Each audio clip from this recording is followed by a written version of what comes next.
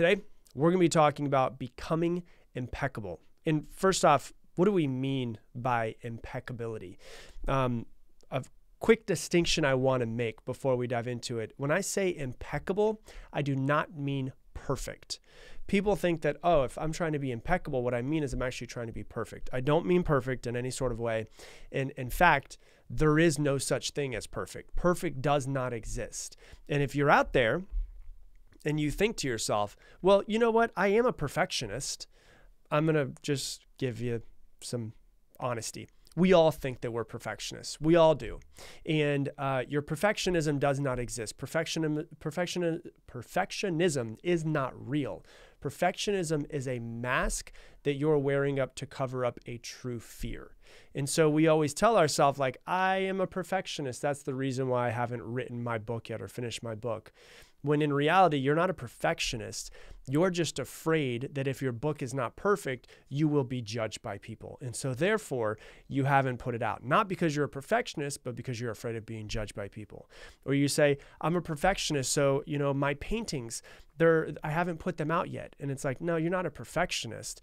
You're just afraid of other people seeing your paintings and your heart and soul that you put into this painting being judged by other people. So your perfectionism does not exist. Your perfectionism is a mask that you're wearing over your true fear of not being good enough or being judged by other people or not being smart enough or the possibility of being rejected or other people's opinions or dying alone or whatever it might be. If you think you're a perfectionist, we all think we're perfectionists, and perfectionism does actually not exist. What exists is the true fear that's behind it. And so when I say being impeccable, I don't mean being perfect. Impeccability is not being perfect, it is striving to be the best you can be in everything that you do. It means constant, never ending improvement. If you look at the Japanese word kaizen, K I K A I Z E N, it is constant, never ending improvement. Just trying to get better is what I mean by impeccable. And when I say impeccable, I'm not just talking about like the biggest things in life. I'm not talking about like being impeccable at the biggest things in life. I'm talking about being impeccable at all of the small things, especially the small things. I care more about the small things, the little teeny tiny things that seem like they don't matter more than I care about the big things because the small things matter so much more. You know, if you think about that, the way you do one thing is the way you do everything. I say that all of the time. And I love it because I always I hear it people around me always saying it as well. It's like the way you do one thing is the way you do everything. The way you do one thing is the way you do everything. So if you're trying to be impeccable, to be the best that you can be at every single thing that you do, that's going to permeate into all other areas of your life as well. If you're trying to be impeccable with this set, with this rep of the workout that you're doing, that is going to permeate into your relationships. That's going to permeate into your business. That's going to permeate permeate into your communication skills, into your planning. So I personally care more about how you show up to the little teeny tiny mundane things more than I care about anything else. Because when you show up really well to those things, you show up well to everything in your life. And this is something that I've been sharing with my team personally a lot over the past few months. You know, we have over 30, 30, 30 people that work for us at this point in time, and it continues to grow and grow and grow and grow and grow. And their results in the business will equal the results in everything that they have in life. So their impeccability and everything they do in the business will go into everything that they have in their life as well. You can't think that, oh, I'm going to just, you know, have a, a, really great relationship with my children, but I also happen to have like this this health journey that I'm really not doing well at. No, if you're not doing well at your health journey, parts of that are going to permeate into your relationship with your children. And so if the way you do one thing is the way you do everything, you know, we can think about our health, we can think about our relationships, we can think about all these things, but we can also think about the things that we don't really think about that often. We can bring them to the forefront of our minds. So, like I always say, when you do something, try to do it the best that you can. And so, like, if you're doing the dishes, are you doing the best that you can? Like most of the time when I'm doing the dishes, I'm thinking to myself, fuck, I don't want to be doing the dishes. Like that's the actual thought that's going through my head. And then I think, okay, well, if I'm here and I am doing the dishes, you know, I'm going to try to do these the best that I can. I could just rinse them off and throw them inside the dishwasher. Which I do sometimes. Or what I could do is I could go, okay, you know what I could do? Instead of just taking this dish and maybe leaving this bowl that has oatmeal on the side of it to quote unquote soak, because, you know, we all think that we have to soak something. And, and so we're like, well, I'll just soak this, this bowl of oatmeal crust on the side.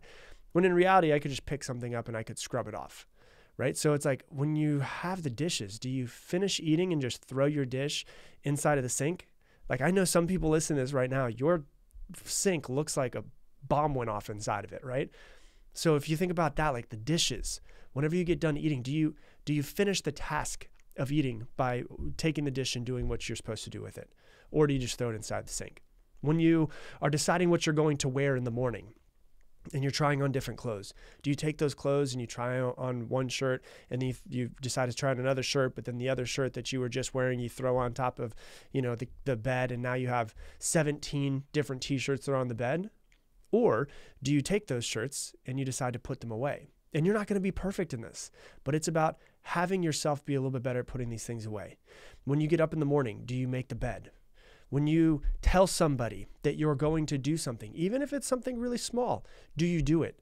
When you say, I'm going to be there at four o'clock, are you there at 4.03 or are you there a few minutes before four o'clock? Right? Like the, the, the showing up late, like we all have friends that show up like they're, they're late to every single thing that they do. And that being late to every single thing that they do, showing up a few minutes late, is permeating into all the places in their life. And so if you're going to be there at 4, do you get there at 403, 405, 410, 415, 430 for some of you guys out there? Or if you say you're going to be there at 4, are you there at 350? Because the way you do one thing is the way you do everything. You need to figure out ways to be impeccable. You start thinking to yourself, the way that you interact with people, are you trying to be impeccable? And once again, it's about progress, not perfection. Am I constantly trying to improve at these things? You know, the way that you talk with other people. Are you trying to pay attention and be impeccable with the way that you speak to somebody else?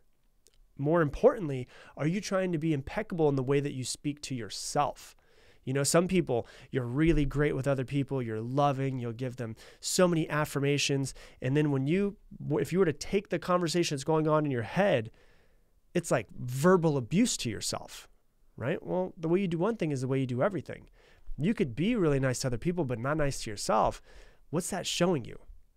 You know, how often do you say you're going to do something as well and you just don't do it? How many times have you said you're finally going to lose those extra 10 pounds and you don't fucking do it? How long have you been telling yourself that you're going to start that business that you're so passionate about, but you haven't done it?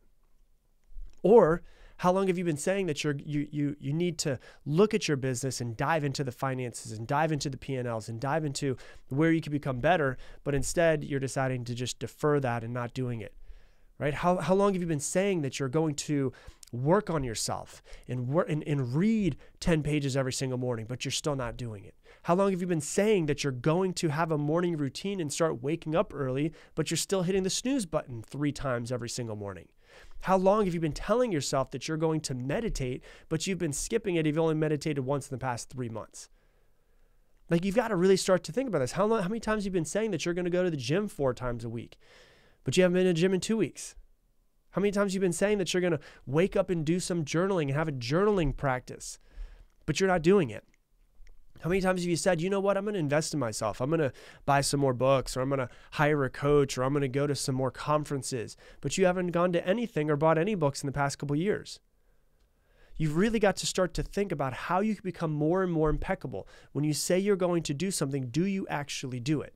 You know, when I, the, the thing that drove me the craziest in the, the first company that I owned, and I would have, you know, I had tons of sales reps, like 40, 50, 100 sales reps sometimes during during the peak hours or the, the peak months of the year. And I, I hated that people would come in and they say, Hey, I'm going to do 100 phone calls. And then they'd walk out the door and they did 37 phone calls. Or they said, I want to do 40 appointments this week. And they would do 11 appointments for the week. And it started driving me crazy that people were not doing what they said they were going to do. They were not being impeccable with themselves. And so when you walked into what we called the bullpen, it was the biggest room where we run the team meetings.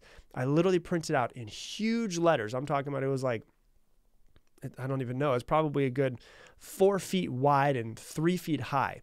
So when you walked out of the bullpen, you saw this, this phrase above the door and it said, follow through.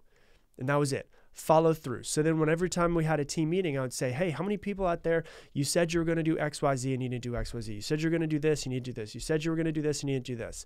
Where else do you think that's showing up in your life? You've got to get better at following through. You've got to get better at following through. You've got to get better at following through. You've got to stop making promises to yourself and then giving up on yourself. Because do you give up on yourself? If you think about that, if you think about just just think about this for a second. Imagine if you told somebody you were going to do something and then you didn't do it. You're going to break a little bit of trust, right? And then imagine if you told them a week later you're going to do something and you didn't do it. You're going to break a little bit more trust. And then a week later you told them you're going to do something and you didn't do it. And you again and over and over and over and over and over again. 6 months down the road, how much trust do you think that person is going to have in you? Yeah. The answer rhymes with hero. It's zero. They're going to have zero trust that you're ever going to say that that you're ever going to do what you say you're going to do. So if that person is going to have zero trust in you, what about all of the times that you told yourself you were going to do something you need to do it. You told yourself you were going to invest in yourself. You told yourself you were going to read. You told yourself you were going to go to the gym. You told yourself you were going to meditate. You told yourself you were going to wake up early. You told yourself you were going to work on yourself. You told yourself you were going to start that business. You told yourself you were going to lose those extra 10 pounds. You've been telling yourself and then not showing up and telling yourself and not showing up. What do you think that is doing to your confidence? What do you think that's doing to your trust in yourself? If you can break somebody else's trust that easily, how easy do you think it is to break trust in yourself? Because you're doing that to yourself sometimes 10 times a day. If you told a friend you were going to show up and you didn't over and over and over and over and over again, eventually you break their trust. Imagine somebody did that to you. Imagine if one of your friends told you they're going to do something they didn't, and they told you you're going to do something they didn't. They told you you're going to do something they didn't. Wouldn't you eventually just stop trusting that person? It's the exact same with trusting yourself. And the, the, the key part of this is that you don't have to be perfect, but you have to strive to be better every single day. You have to strive to be honest with yourself. You have to strive to be honest with other people. You have to strive to be as honest with yourself in every practice that you do throughout your life. Now, you might think to yourself, well, I said I was going to do this thing and I didn't do that. I broke my trust. Immediately, people start to guilt themselves. They start to shame themselves. They start to feel bad about themselves. When in reality, it's like, hey, okay, I screwed up. What am I going to make sure that I do in order to make sure that I don't do this again? And you make small little incremental improvements. You know, if you were to say on a scale of one to 10, one being like the absolute worst and 10 being perfect, where are you on being impeccable in your life? Say it out loud to yourself. You're in a car, say it out loud to yourself. Is it a four? Is it a five, six, seven? Like actually say it out loud to yourself. On a scale of one to 10, where are you on being impeccable with what you say you're going to do? Say it out loud. And then I want you to think about this. What is it costing you in your life by not being higher?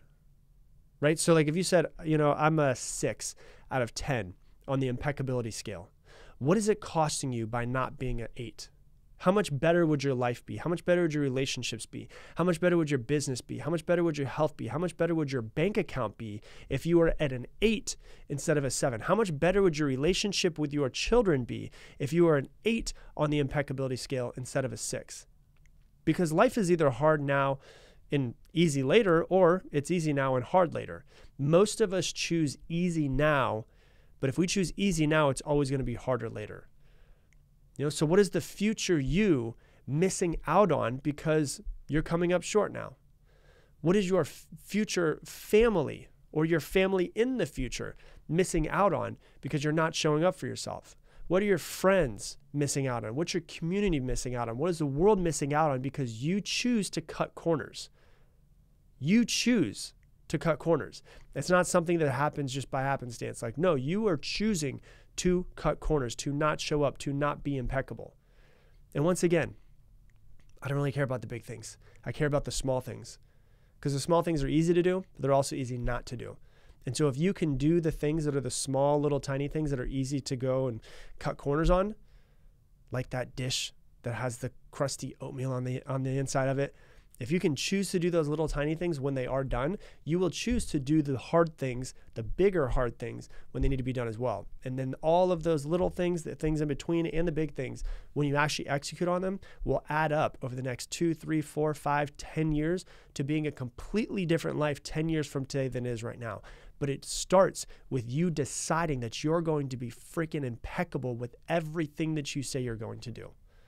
So that's what I got for you for today's episode. If you love this episode, please share it on your Instagram stories and tag me at Rob Dial Jr., R O B D I A L J R. And I'm going to leave the same way I leave you every single episode. Make it your mission make someone else's day better. I appreciate you, and I hope that you have an amazing day.